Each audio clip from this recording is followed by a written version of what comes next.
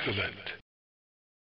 Okay, here we go. Last video I showed you Marvel vs. Capcom 2, the Naomi version, the arcade version, running on the Pi 4. I told you I'd show you how to get that game up and running. So here we go. Let's take a look.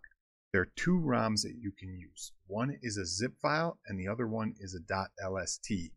I'm going to show you both ROMs, but I believe the easier one is the zip file to use. Uh, I've had a little more success with that.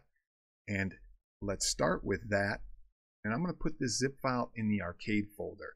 The arcade folder can already read a zip, so we don't have to worry about adjusting the uh, ES Systems config file in order to get this uh, ROM to read. Right here, you're going to see Marvel vs. Capcom 2 zip. I'm going to open it so you can see what it looks like.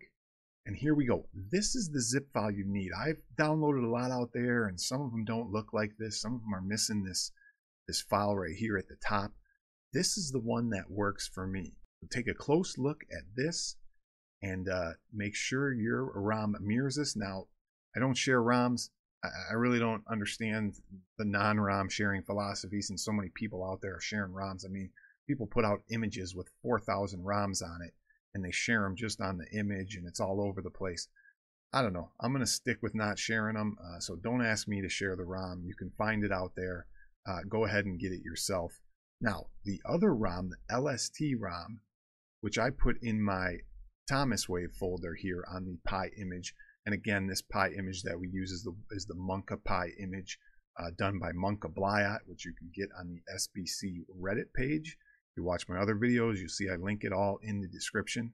But let's go into the Atomiswave folder, take a look at that ROM. It's four files right here. You can see the LST file right here. You're going to need all of these four files.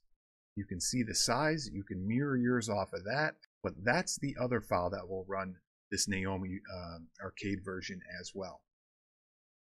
If we go into our BIOS folder, you're going to put them into a DC folder. If you watch my videos, you know I'm, I'm a proponent of just dumping BIOS files in there. To me, it can't hurt. Um, so here's the two files right here, a naomi.zip, and I will open it so you can see what it looks like. This is the naomi.zip file. Now this one, I believe, goes with the zip ROM file. So if you're going to run that one, you need this one. The naomi.bootbin, I had success with just using this on the LST file. But I will say this, for some reason I was having trouble on my PC with the boot bin file and the LST file getting it to run. But as soon as I added the Naomi zip uh, BIOS file here, the ROM, the LST ROM ran.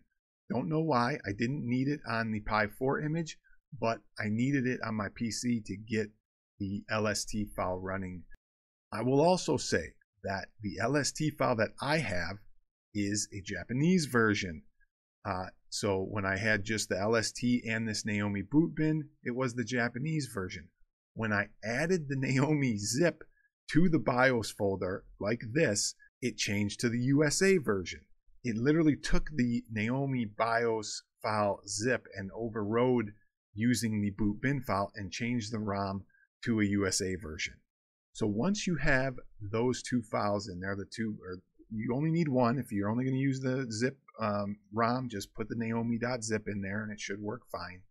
Once you have that done, you can basically run it from an Atomiswave folder. But if you're like me, I want the arcade ROM in my arcade folder. I'm going to show you very quickly how I did that. And what we're going to do is we're going to edit the emulators config file that you're going to find in your arcade folder in the opt uh, folder directory. So we're going to go opt retropie configs and what we're going to want to edit here is the arcade folder, this emulators config file. And we're going to add the emulators reicast and flycast into that config file so we have the option to choose them when we're in our arcade folder.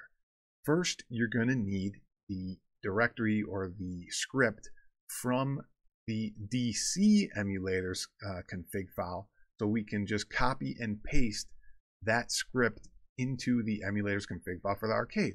So the first thing I'm going to do is I'm going to download this emulators config file uh, my desktop here that's in the DC folder. Now notice again, I'm in the DC folder. So I downloaded it to my desktop and here it is right here. I'm going to rename it emulators-dc and we're going to leave it there for now. I'm going to go back and now I'm going to download the emulators config file from the arcade folder. Download this to my desktop and that one is right here. Now we're going to edit with Notepad++. And you can see here's all the emulators that you have the options of choosing when you open games from the arcade folder. Uh, these are the emulators you can choose from when you hit A to launch that uh, window, which allows you to choose the emulators. We're going to add two here. We're going to add the Flycast and the Reicast. But in order to do that, we need the, the script from right here from the DC emulators folder. All I'm going to do is I'm going to copy these. I'm going to copy these two. Don't need that default. And there's also two other emulators uh, as well that you can choose from, but I don't want those. I'm just taking these two. To go back to my emulators config. Pop it in here. Paste it in. Save. Close out. Go back to WinSCP so I can SSH this file over the arcade one. So I'm going to go to my desktop here, find that emulators config, drag it over here into the arcade folder, overwrite yes, and now when we run that MVC2 uh, uh, zip file from our arcade folder, we'll be able to run it with Flycast because that zip file I, I, somebody said it got they got it to run on MAME a little bit, but it runs terrible. But we use Flycast or Reicast. Uh, we're going to use Reicast probably uh, in this demonstration, but that's how you're going to get that emulator show up when you launch the game. So you got your BIOS files, you got your ROM files in the right uh, spot, or the BIOS files in the right spot, the ROM files in the folders you want, and now we're going to simply launch the game. Okay, so here we go with the Pi 4 image from Monkapliot. Again, if you don't have it, go to the SBC Reddit page, which I'll link in the description, and go get this image.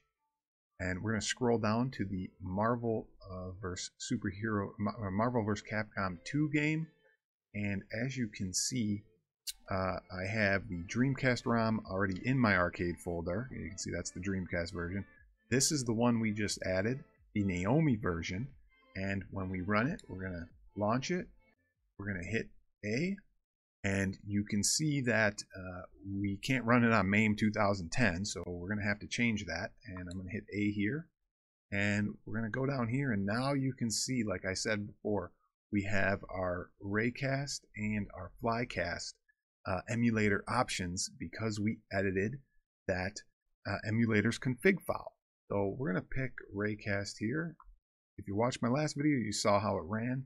It ran great. We'll just launch it really quick so you can see.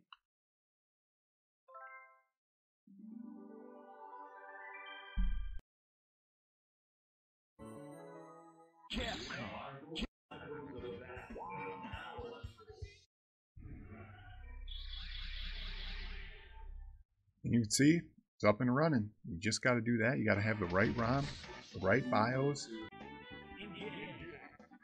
you won't have any issues.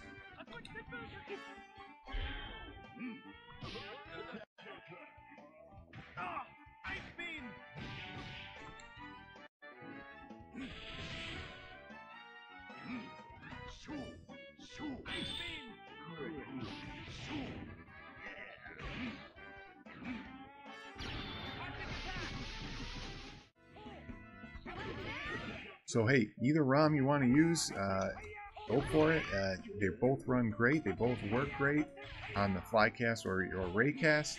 And uh, again, if, uh, if you like what you see, subscribe to the channel. You see more tutorials, more other stuff that uh, do on the channel. And again, as always, thanks for watching, everyone.